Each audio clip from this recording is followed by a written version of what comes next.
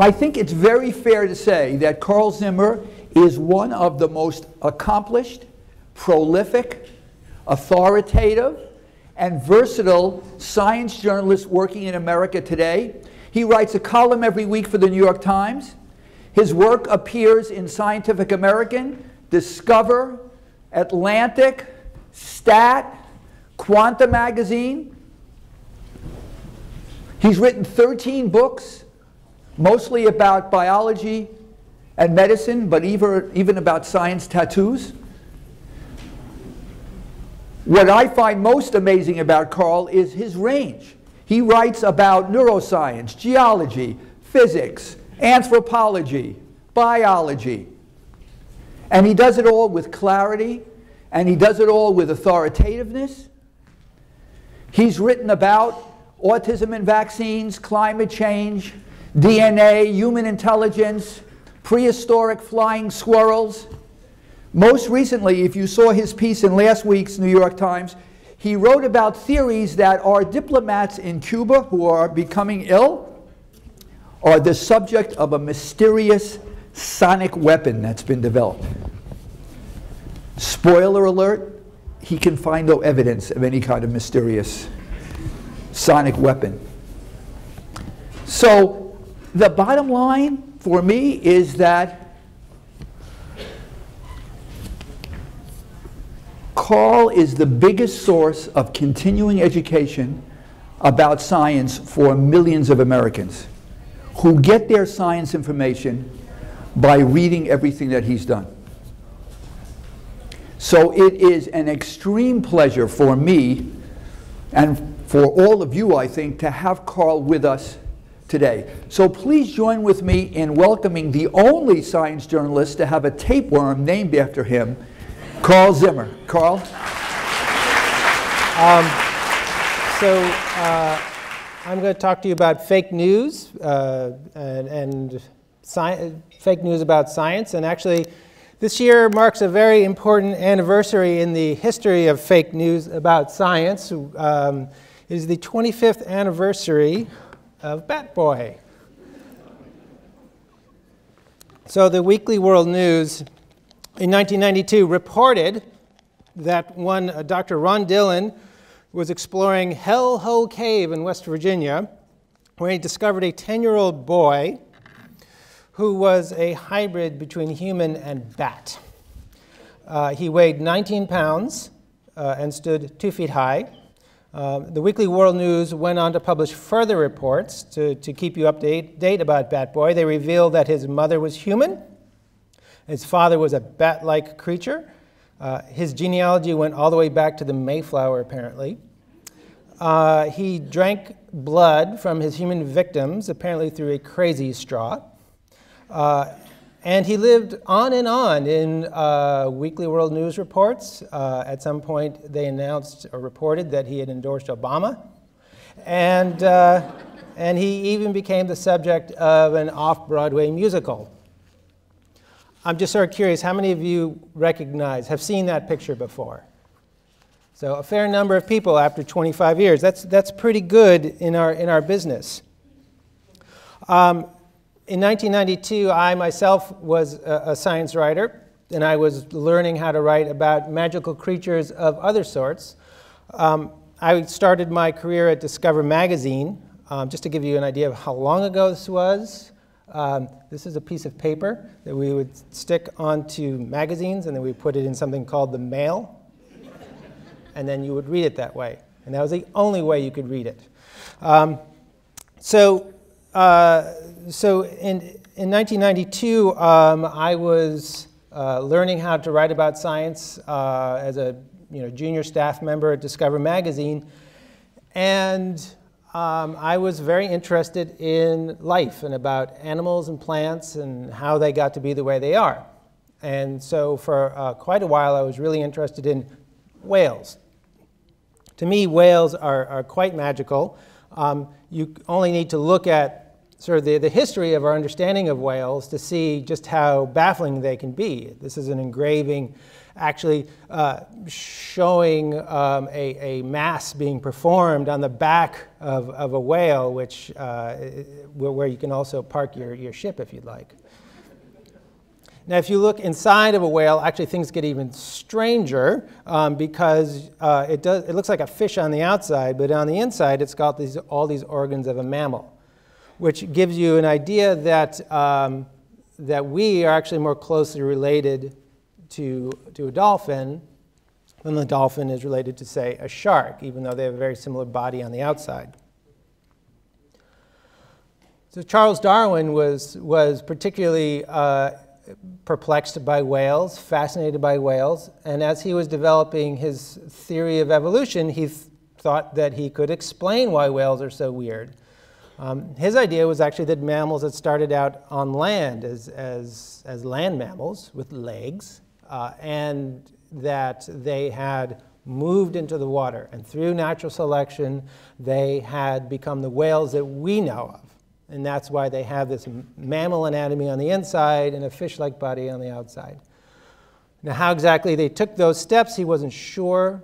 Um, he, was, uh, he, he speculated about some, having read about bears that would swim around with their mouths open, and he thought, well, maybe they could catch bugs uh, as they swam. And he actually suggested this in the first edition of The Origin of Species, and actually newspapers singled that out as being particularly ridiculous. So he took it out of subsequent uh, editions. So as a science writer, I was very excited to actually be uh, uh, writing at a time when, um, when the fossils, the first fossils of whales early whales uh, were being discovered, ones that could actually show that Darwin was uh, fundamentally right. Um, so one of the most important ones was this fossil uh, found in 1996 uh, called Ambulocetus. And this is Hans Thewissen, a paleontologist who found it in uh, Pakistan. And so this, this is a, a, fossil with sort of key features of, of, of whales, certain things that whales only have in terms of their ear bones and other structures. But as you can see, it's got legs.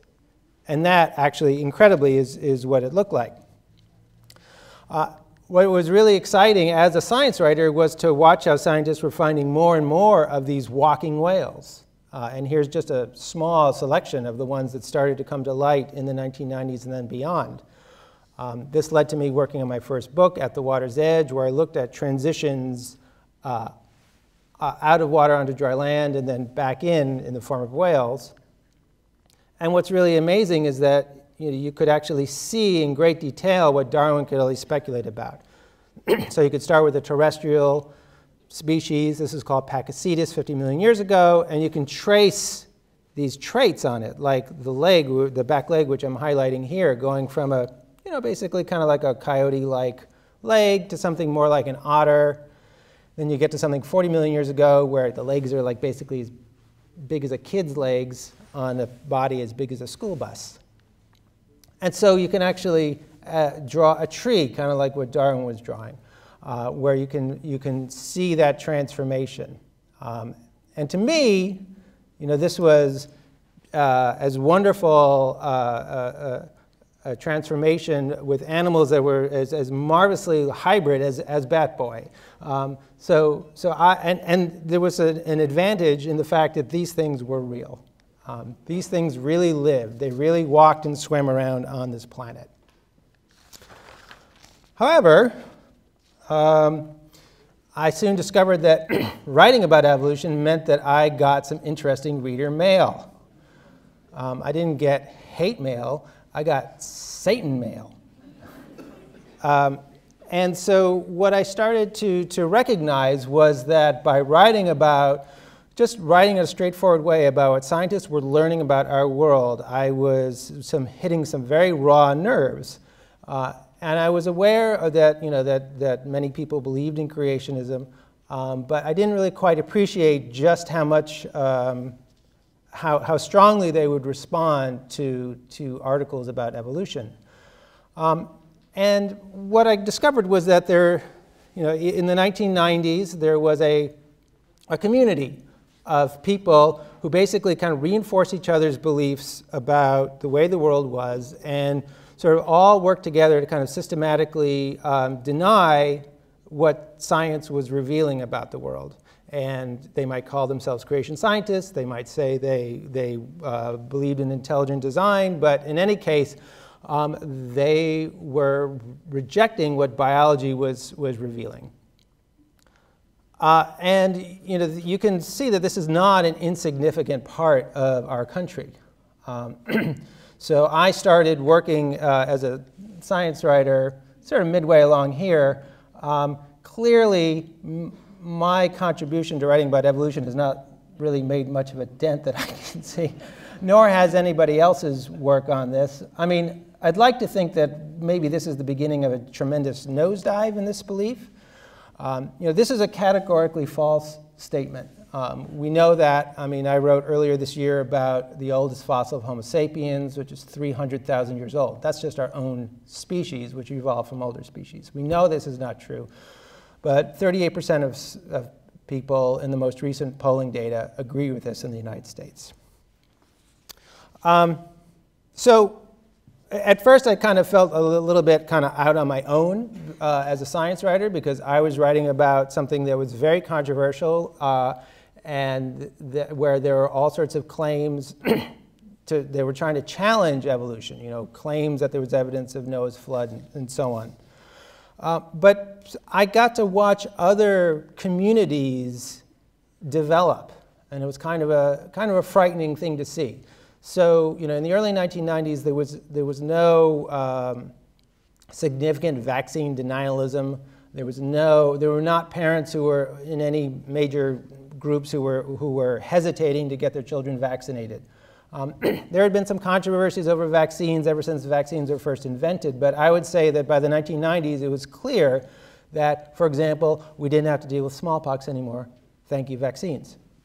Um, but that started to change uh, starting in the late 1990s. Um, and in, in large part due to a, uh, the work of a British doctor named Andrew Wakefield, who published a paper in The Lancet where he was claiming that, uh, that after children got vaccinated with uh, the MMR vaccine for uh, measles and other diseases, um, that they developed a whole bunch of uh, very concerning uh, disorders, uh, including you know, disruptions of the gut, and, and even implied that uh, these vaccines might be causing autism.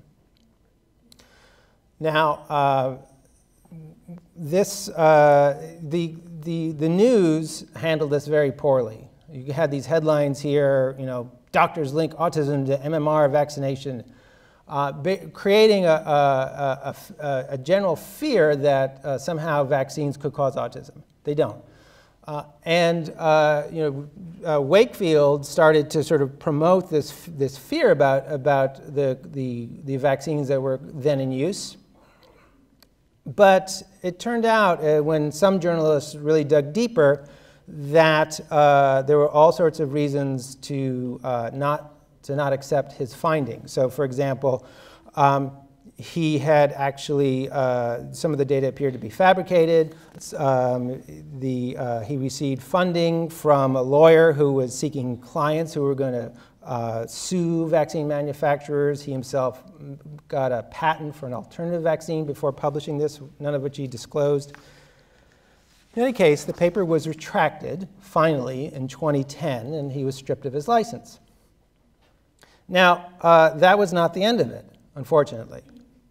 It's been 19 years since this, the paper originally came out, uh, and, we, and we still are dealing with the repercussions of this. There, there's, a, there's a, there are people who uh, are, are firmly persuaded that vaccines are dangerous. Um, there is a, actually just this year, there's a, a fairly sympathetic documentary that's come out about Wakefield. Um, and Wakefield and others have actually been, been trying to, to get to persuade people not to get uh, vaccinated and, or, or, to, or to, or to, uh, or, or, to, to, to essentially to hesitate about it. So here's a, just a graph showing you what happened in the Somali American community in Minnesota. Um, vaccine rates there uh, plummeted in the past few years, and lo and behold, they are dealing with a massive measles outbreak, which is really quite harmful to their children. Um, and there were people actively going into their community and trying to uh, spread all these, all these unfounded concerns about vaccines. So this is, so this is the kind of real impact that you can get from, uh, from basically spreading fake news that, you know, that vaccines can, can cause autism. Um, there's something that has given this kind of fake news some extra energy, I think, in the past, say, 15 years. Um, and it has to do with, with how people get their information and their news about science. It's basically, if you have to sum it up, it's the disappearance of that mailing label. Um, and I have to say that I, you know, I myself uh, was, was quite fascinated at the beginning by how, uh, how science journalism was starting to move online, to become digitized. Uh, and I actually started up a blog uh, uh, pretty, pretty early on in the, in the world of science blogging. Um, and uh, it, was, it was quite fascinating. Um, and, and actually, you know, I ended up, um, one of the Kavli Awards I won was actually for, for blog posts that I wrote. And, and, I and you know, I, what I was doing there was I was experimenting, writing essays, trying out things that maybe editors wouldn't be interested in. You could get comments directly from readers. Um, you can know exactly how many people were reading your blog post. It was fascinating, I have to say.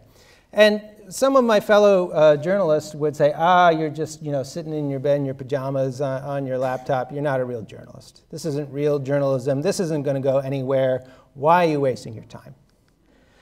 And, and essentially, I think the attitude was like, you know, like journalism has been a certain way for a long time. It's big, it's profitable, it's paper based how is this ever, ever, ever going to change? And why would you waste your time trying out things like blogging? Well, things did change. and they've changed pretty, pretty drastically. Uh, and, uh, and, and it's, there are a lot of reasons why things changed. Uh, and I'll just give you a, what I think are a couple of the major factors. Um, so basically, what happened was that the, uh, the newspaper industry just collapsed. Uh, and, and you can see that in the, in the job numbers here.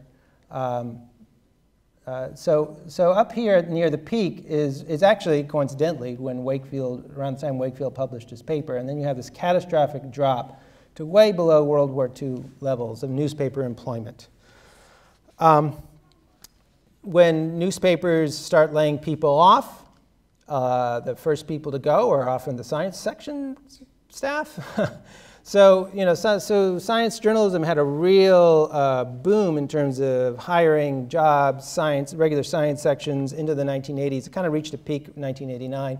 It's been going downhill ever since. I don't have uh, numbers after 2013. My guess is they're no higher, probably fairly lower. Um, Now, bloggers, you, you can't blame bloggers for this, this kind of crash. Um, what happened was that, that the newspapers uh, no longer had access to a whole lot of money. So, for example, classified ads in newspapers made tens of billions of dollars a year. It was a huge source of income. Uh, and they just could not believe that something like Craigslist could take it away from them um, people started to become more comfortable getting their news, reading it online rather than in paper. Uh, and you would go to places like Google or Facebook rather than to uh, the publications themselves. So, for example, you would look up you know, news on Google. Here on Facebook, this is just you know, somebody, you start to have social referrals uh, to, to get your news. And here are the ads that would otherwise have been in a newspaper. Um, it's very simple. This has been incredibly profitable for Google and Facebook because they've been able to take a lot of that money from the, the, uh, the news industry, money that used to go to the news industry. They don't have to pay a lot of the costs um, because basically what they're doing is that they're just uh, shuttling around articles that very often are still being written by those legacy media. Um, so they're taking, they're taking all the upside and not dealing with any of the downside. So the result was this, this uh, tremendous crash in the, in the value of, of newspapers. And, uh, and uh, you can see just some examples of, of some of the newspapers that have lost huge amounts of value, particularly small city newspapers, Boston, Philadelphia, Minneapolis, places like that. Um, and, uh, and I think that this, this has been one of the factors that has allowed uh, fake news to, to really thrive in our, sort of, in our cultural landscape. Now, I'm not saying that fake news is new. Uh, and we've been hearing the phrase a lot recently, but here is a, here's a column from eight, uh, article from 1890 uh, talking about fake news uh, the subhead is There are a lot of unconscionable rascals in journalistic circles, making it sometimes difficult to ascertain true facts. I do miss these headlines. Um, and actually, there was fake news before people even used the phrase. So let me just jump back to 1800. This is actually a, a, an article from the Albany Gazette during pres the presidential campaign where Jefferson was running for president. A gentleman who left Frederickstown last Friday informs that an account had been received there of the death of Thomas Jefferson, Esquire, Vice President of the United States, at his seat near Charlottesville. This report was corroborated last evening by a gentleman directly from Baltimore who says that the same account had been received there from Winchester and that it was generally believed. Um, this was basically a way to get people not to vote for Jefferson. Oh, he's dead, so I guess I can't vote for him. Um, so this is this is this kind of fake news is, is not new, um, and and uh, it, you know may, it might have cost Jefferson the election if it had been closer. Uh, and uh, you know by 1916, people were actually talking about how we'd had to have laws put in place to stop fake news. so so there's something you know fundamental about when you have a have a free society where people have First Amendment rights that there's going to be an opportunity for people to just spread around stuff that just isn't true and, and to do so for a lot of ulterior motives. But the thing is that I think that the, the structure the, the, that we, where news exists now uh, really fosters fake news in a way that just wasn't true before.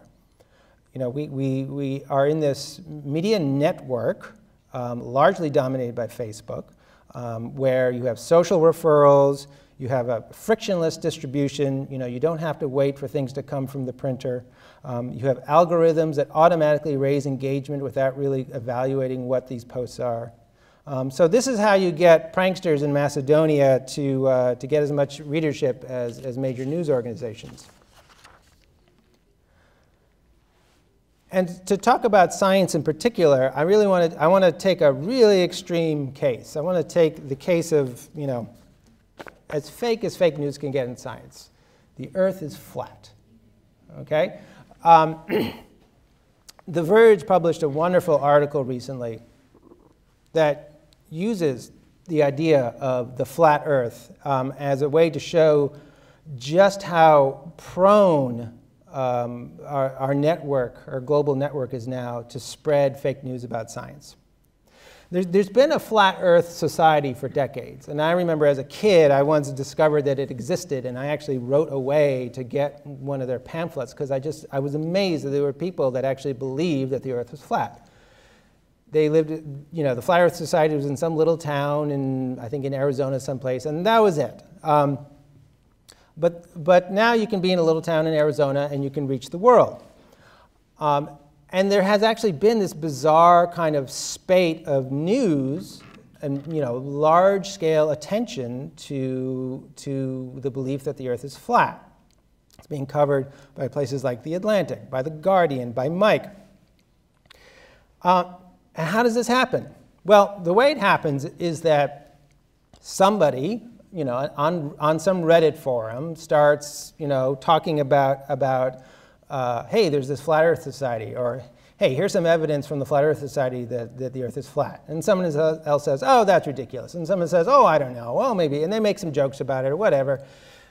So the more discussion there is about it, you know, there will be uh, there will be upvoting in Reddit, and so now this this discussion about the flat Earth uh, rises to the top of Reddit, which gains it more attention. And then journalists start to take notice. Now it's news. Uh, and so journalists start writing explainers about the, you know, why do people believe the earth is flat? Um, then that news goes on to Facebook and where people share it more. Um, and uh, then, you know, uh, newsrooms are sort of keeping track of each other. You know, they're using programs like uh, CrowdTangle, for example, to track each other's uh, uh, uh, readership. And it's really astonishing. Um, the, the site CNET, um, they, they did an article about the flat Earth, and it got 16 times more traffic than an average post, 16 times more. Live Science, they have science in, the, in, the, in their name, uh, 11 times more traffic than average. And so actually, uh, the Flat Earth Society wrote a letter to Yahoo News, Yahoo News, which also covered this, and they wrote, their letter was to thank them. They said, thank you. They said, quote, every article like this spreads our message to more unaware minds. So you might say, oh, it's just some fun, it's just entertaining, um, until actually you meet somebody who actually believes that the earth is flat. I, I actually have, and it's kind of a disturbing conversation you have with them. and they're, they're, they're, they're, they'll tell you, like, oh, I've seen YouTube videos, I know the truth. Uh, and uh, you know, the, and the problem is that also that you know this when you have these flare-ups with news, like it kind of gets baked in. So if you go to Google and, and you type in, you know, is the earth flat, you get these sorts of responses. And it's a mix of good and bad. So it's great that popular science is the top hit. Um, you know, 10 easy ways for you to tell yourself the earth is not flat.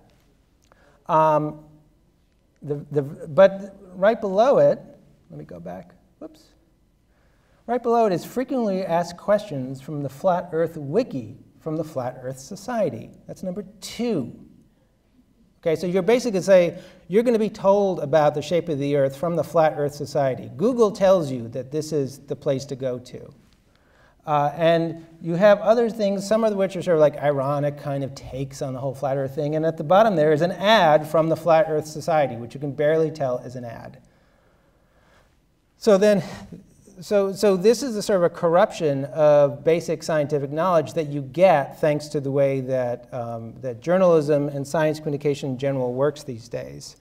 Um, and the problem is that, um, that you know, like by sort of indulging in, in this kind of thinking and this sort of, and, and you know, conspiracy theory type thinking, um, you start, uh, what happens is that um, well, the goal of it is, as one sociologist put it, is, is, quote, to prove that nothing is provable and that all assertions are arbitrary. So the more of the stuff that you get online, um, the less that people can people start to appreciate how science actually works. That science can actually tell you things about how the world works. It's provisional. You can discover that old ideas were wrong, but you can replace them with better ideas. Um, Today, uh, global warming is very much uh, coursing through this network, and our collective understanding, I think, is really being harmed by it. The basic physics of global warming have been known since the 19th century. There, there are scientific debates about global warming, but mainly they're about, well, how bad are things going to get as we continue to put more carbon in the atmosphere? And that's a hard question, partly because how much carbon we put in the atmosphere is up to us. So it's not just physics, it's social science. It's a, it's a hard problem. Um, but there are, uh, but there are, but there, the, the basics are, are fairly straightforward. And scientific societies, like the Royal Society and the National Academy of Sciences, they've put these things out there online in very straightforward formats for people to find. Um, this, is a, this is a report that you can, can find online quite easily if you want to look for it. Now, the, so what, so what do we, what are the, what do people think about global warming as, as opposed to, say, uh, evolution? Um, at first glance, things look pretty good. This is actually some very recent data from this summer, and you can see that 74% of people overall agree there is solid evidence that the average temperature on the, earth, on the Earth has been getting warmer. Um, like that is just objectively true. So, so you know, it would be nicer if, if it was higher than 74%. Um, and, but if you drill down deeper, uh, you start to get to see some interesting patterns. So, uh, so people who are Democrat and lean Democrat, it's gone from 79% to 92%. People who are uh, Republican have gone from 59% down to 34. They've gone back up to 52, but still it's a much, uh, much lower number than, than the ones who are Democrat or lean Democrat. Now this is just, is the planet getting warmer? Which, like the graph I showed you, and many graphs from other data uh, sets like it show, yes, it is. It has been, it's a, it's a steady trend. There's, that's not something to be debating about. Now, what scientists also agree with overwhelmingly is that the main source of that increase in temperature is human activity. Uh, and those scientific societies I showed you and many others, American Meteorological Society, they have just come out and said like all our evidence points to human activity being the overriding cause of the increase in this in temperature. Uh, a lot of people still think that it's natural patterns. And so even though, uh, and so even the, uh, while the GOP currently, there's a slight majority that accept that the planet is getting warmer, only 24% actually accept that humans are responsible. so I think that you can ascribe a lot of this to that network I was talking to you about. Um, so these networks, um, they are organized around our friends. They're also organized around people who think the way we do. Um, so uh, if people are liberal, they often get a lot of their information from other people who have liberal views. People who are conservative may get it from conser like-minded conservative people. Uh, and so scientists have actually been trying to map out how people of different uh, political uh, persuasions, how they share information, where they go to for their information, and, and, and where they, how they, they trade things with each other and how these particular websites you know, make reference to what's on other websites. And you get, a, you get something like this where blue is towards the, the liberal side and red is towards the conservative side. Um, this is a study just on 2016 because they're interested in what happened during the election and the campaign. Um, they found that liberals tend to share items about equally from centrist sites and far left sites. Um, conservatives uh, have almost no interest in centrist sites whatsoever. They only share items from extremely partisan sites. Uh, and Breitbart, which is that big red thing in the, in, in the center of that red cloud, has a very powerful effect there. Breitbart may not seem like it gets a lot of uh, readers uh, compared to other sites, but when you look at it this way, uh, as part of a network, it takes on a very large importance. Uh, now, these networks can also be connect uh, to politicians as well.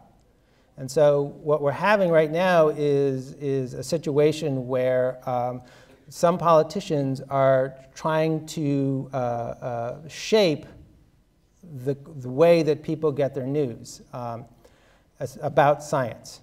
So Lamar Smith, who's the chairman of the House Committee of Science, Space, and Technology, has been um, been uh, uh, uh, speaking out a lot, accusing climate scientists of, of very unsavory kind of activities, claiming that they are publishing things that are not, uh, claims that are not supported by the evidence, and so on and so forth. Um, during a congressional hearing, someone mentioned uh, actually an article from Science Magazine, um, which is published by AAAS, um, uh, it was written by Jeff Mervis, who is a, a veteran science reporter, uh, been, been writing for years about science policy. And in this congressional hearing, uh, Smith declared that is not known as an objective writer or magazine. I mean, Science Magazine is the leading uh, science journal in the country um, and has a large team of independent uh, reporters who have been writing for decades and doing uh, some of the best reporting out there. So in, in congressional hearings, he is trying to get people to believe that science news is fake news. Meanwhile, uh, he, uh, under his leadership, the committee, committee has been promoting news about climate, in particular, from none other than Breitbart.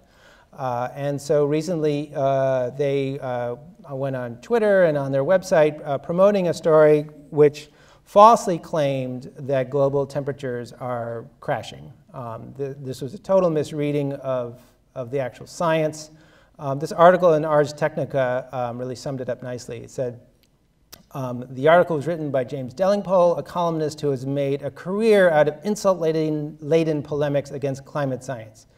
In an episode of BBC's Horizon, Delingpole famously admitted that he never reads scientific papers and called himself, quote, an interpreter of interpretations.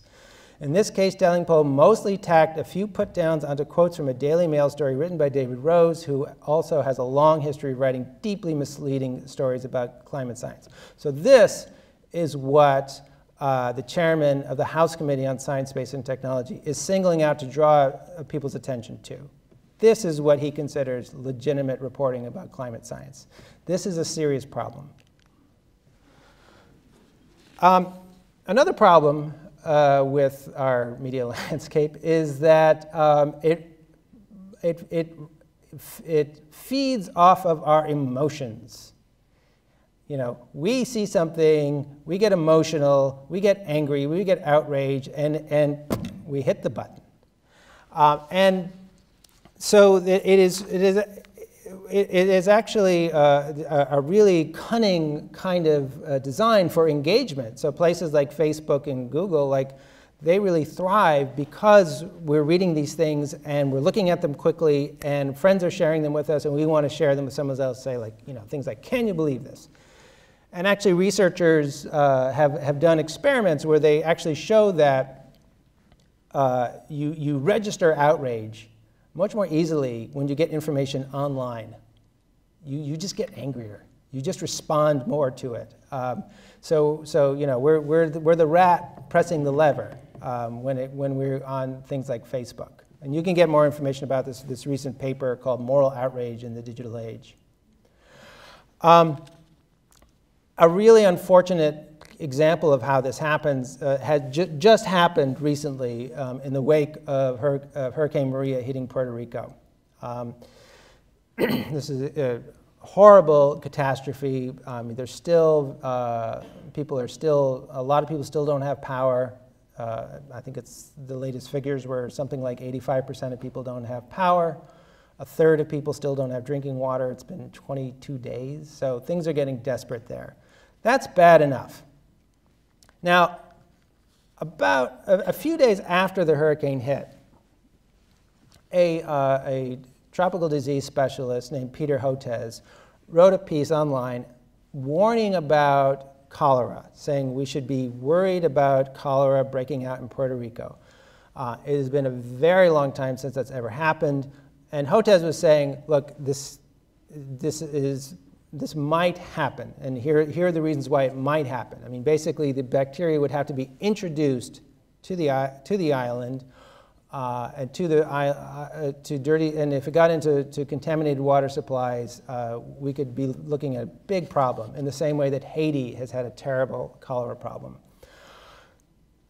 He was saying like this is something to be concerned about and to be on our guard about, which is a, a very responsible thing to say. Somehow, though, within a couple days, not, I still don't know quite how this happened, a rumor started to spread around, especially on Twitter, that cholera was in Puerto Rico. Uh, there was a tweet where someone said the first cases of cholera have been reported in Puerto Rico. There was no sourcing on that, nothing. It just, and boom, it just took off. Uh, and unfortunately, Paul Krugman, uh, a New York Times uh, opinion columnist and a Nobel Prize winner, uh, went along with it. He said cholera in a U.S. territory among U.S. citizens in the 21st century. Heck of a job, Trumpy. Now there he is echoing uh, George Bush saying heck of a job, Brownie, referring to the director of FEMA in, uh, the, uh, in her, after Hurricane Katrina. Well, uh, this was just was not true. This, this, this is fake. Um, and later, um, he uh, added another tweet in response to saying, okay, cholera not confirmed, conjunctivitis, yes, lack of clean water, situation worsening, not improving, makes it a risk, but not certain. I have to say that's not good enough. It's not that cholera is not confirmed. There are no reports of cholera in Puerto Rico. Thank goodness. And you know, like that could change, and it'll be horrific if it does. So this is not really a great uh, full-throated uh, um, sort of retraction. Um, he did, you know, and again, in fairness, he uh, there's a he uh, responded to readers and, and, and, said about his tweet, I got sloppy, um, and and owned up to it, which which is good. I'm glad he did. The problem is that sloppiness. Um, just has a way of sticking around, uh, and people can make use of it. So, um, and what happens is that these things will ricochet around that network I told you about. So, uh, so Newsbusters, which is dedicated to exposing and combating liberal media bias, uh, has a headline, Fake News.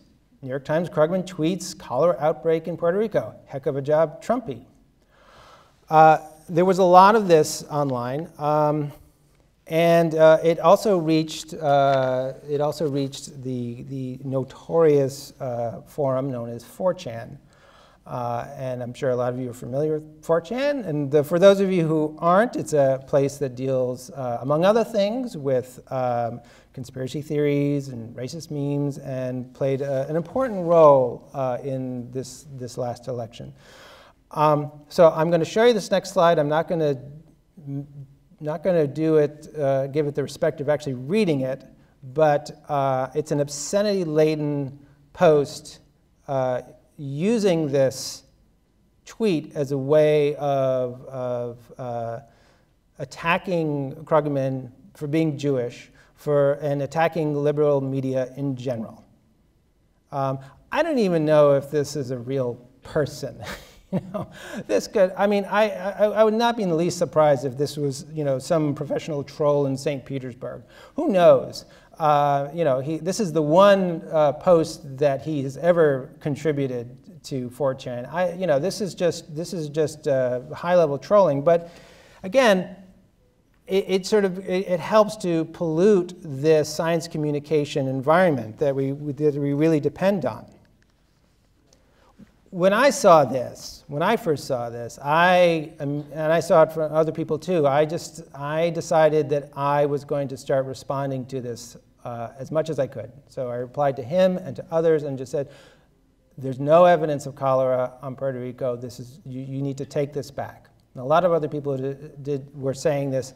And some of my fellow science writers, we basically spent like an afternoon trying to squash this. Um, and um, it worked okay, but not really. I mean, I felt like we were, you know, had a very small hose to put out a big fire. And you can sort of see that by how often the initial one got retweeted and how often his follow-up did. so you've got 32,777 uh, people saying, uh, retweeting this thing like, oh my God, there's cholera and only 599 retweeting like, oh, no cholera. And you can still go on Twitter and find people saying, oh my gosh, there's, there's cholera in Puerto Rico.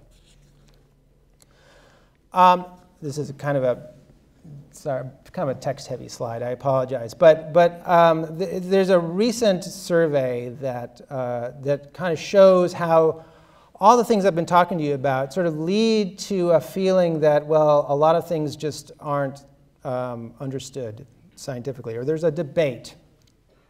Um, and, and, you know, so, so what happened was that Pew Research did a poll and they said, you know, if you've ever watched, read, or listened to science news stories that report on a disagreement among scientific experts, what, what topics were there, were there? The top one is climate change, 32%. And somebody talking about how they saw John Stossel interviewing two scientists who disagreed about the extent of man-made climate change. Then you have 8% for medicine and health, um, vaccines, hello.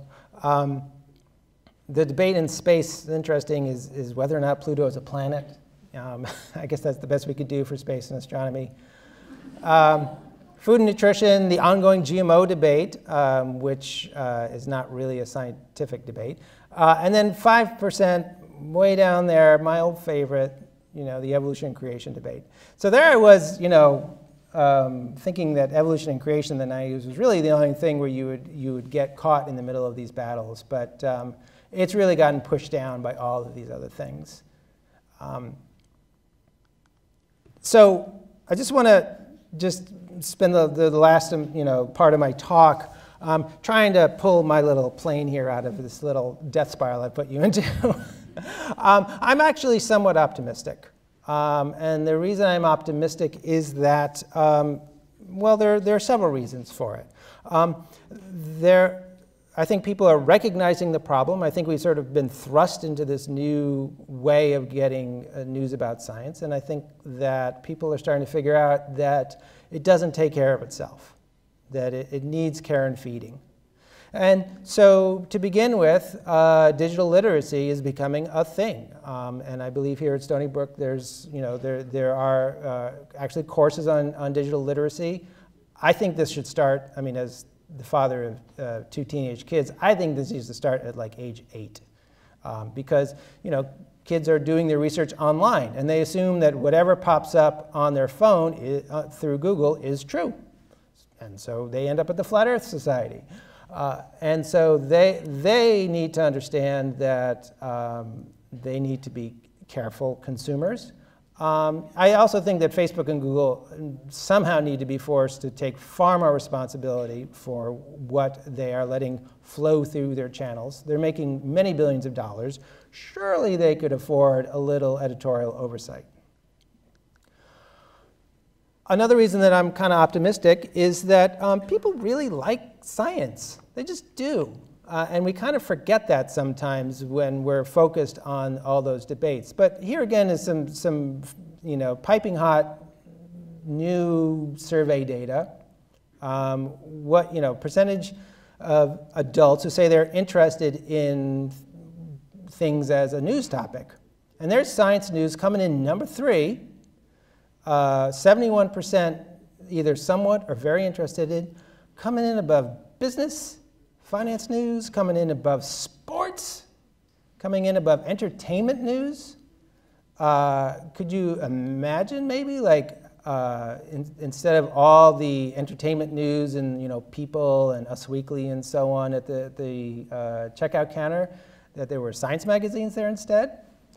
I know it's a bit of a stretch, but still, the fact is that, that people say that they are interested. Uh, and I've certainly found that in my experience writing at the New York Times, um, uh, that my stories at the New York Times are uh, where I won the other uh, Awards that uh, Howard was talking about. And, um, you know, there they, uh, you know, while other science sections and other newspapers have been struggling or been shutting down, been really nice that the New York Times has been really supporting this, their science reporting.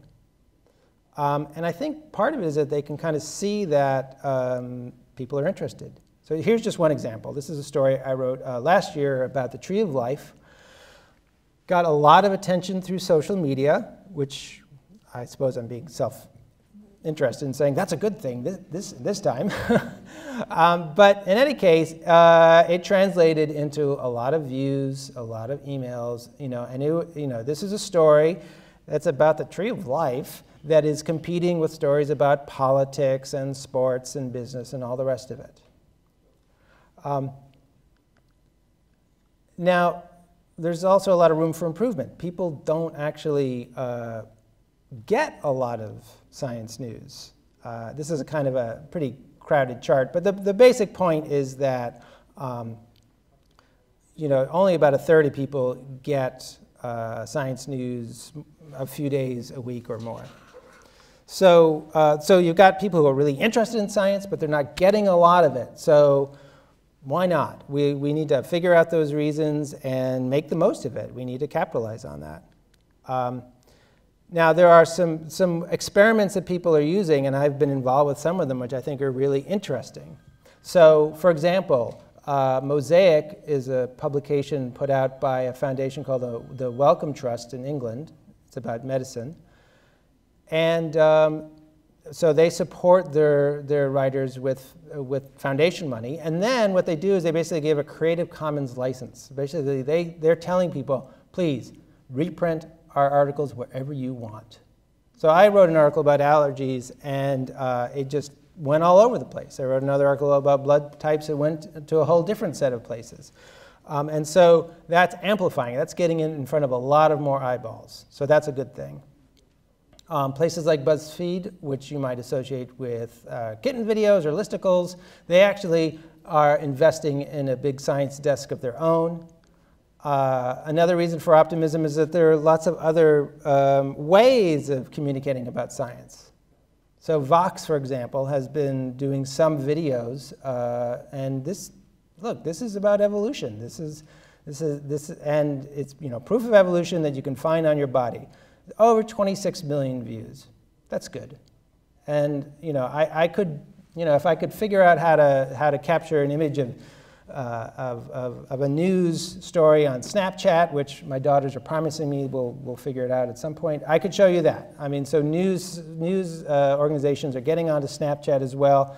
I walk in and find my 14-year-old daughter just, you know, reading something like from the Wall Street Journal just on Snapchat, and, and I'm startled, uh, but I'm intrigued, and, and that's part also what gives me some hope. Um, finally, um, I think that another way that we can get more real news about science to the people who want it is to, to, to try to understand audiences better. It's very easy to caricature readers, to caricature people who, do, who, uh, who reject certain kinds of science or accept others. Uh, and a lot of times our intuitions, and I'm saying our intuitions as reporters, can be false. So uh, Dan Kahan at Yale Law School has been doing uh, lots of interesting research on this, and um, it's a little hard to read here, but his website is culturalcognition.net. Um, and just to give you one example, he, so he, he does lots of surveys and lots of polls and so on. And so he, he says, do you agree or disagree with this? There's solid evidence of recent global warming due mostly to human activity such as burning fossil fuels. And he basically sort of draws a graph. And he, he, measure, and he, he gives people quizzes about their knowledge of science. And so he can measure their ordinary science intelligence.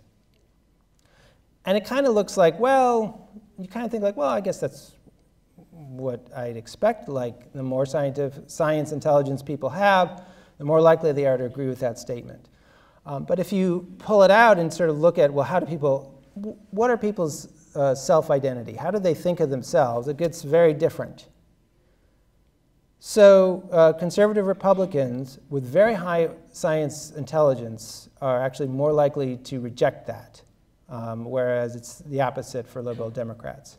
So, so um, you can have a liberal Democrat who really doesn't know science at all and, and is totally convinced that global warming is real and caused by humans, and then a conservative Republican who really knows a lot of science and rejects it. So you, you need to bear that in mind, and you need to ask yourself, well, what's going on? How are people's ideas of their, their self-identity and their understanding of science interacting? Um, and what's interesting is you get different kinds of curves for different issues. So here's like you've got global warming, gun possession, fracking, nanotechnology. Sometimes people agree, sometimes they don't. It's, it's, a, it's a complex pattern, and I think that we as science journalists need to, to understand that better so that we're not so that we're not alienating people and so that we're actually finding ways to connect with readers more. Uh, and the answer to connecting with people is not just saying like, oh, well, just people need more information. That, that's, information's good, I love it, but, um, but you need more than that. You know, and part of what you need are stories.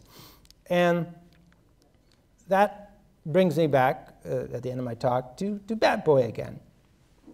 A few years ago, uh, Vice uh, interviewed the artist who did Bat Boy. And it was really, uh, I found it really fascinating. Uh, one, and so one of the questions was, um, why do you think Bat Boy became so influential? And so remember, this is like several years before the election and before people started like wondering what's going on with how people are feeling in our country and so on. And, and, and he, it feels quite prophetic when you read it now. He says, The face just connects. People see themselves in him. I imagine millions of people who may feel the same way that I do. They see emotion in the face. It says, Get me out of here.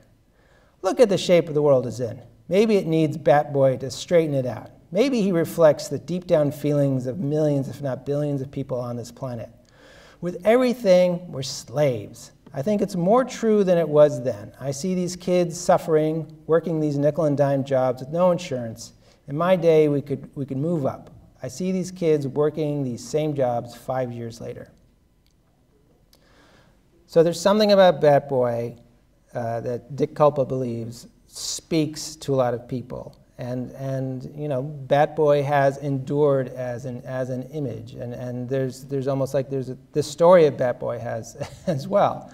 So as strange as it seems, I actually really do believe that, um, that one of the things we can do is we can, in order to deal with fake news and to bring more science to, to more people, is to learn some lessons from Bat Boy.